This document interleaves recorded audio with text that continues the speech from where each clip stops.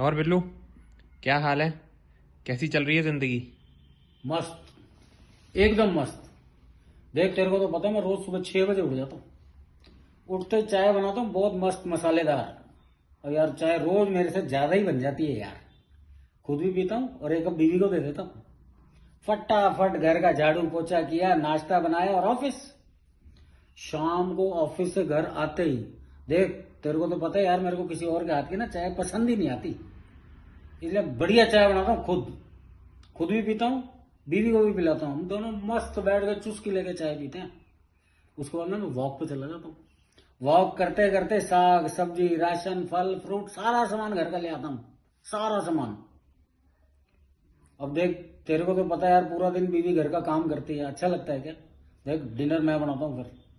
पूरा डिनर मस्त दोनों मियाँ बीवी खाना खाते हैं। फ़र्स्ट क्लास अब रात को सोते सोते क्या है? मैं थोड़े बहुत बर्तन होते हैं मैं ही मान देता हूँ और बीवी के मस्त पैर दबाता हूँ। इससे क्या हाथों की एक्सरसाइज भी हो जाती है। और तू बता तेरे क्या हाल है?